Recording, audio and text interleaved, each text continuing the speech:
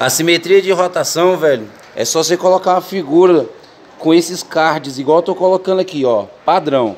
0, 90, 180, 270.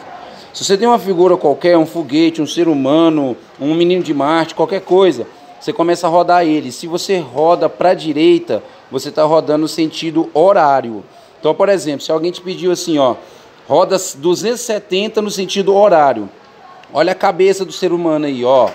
Rodei 90 para a direita, 180, 270. Pronto, você rotacionou ele no sentido horário.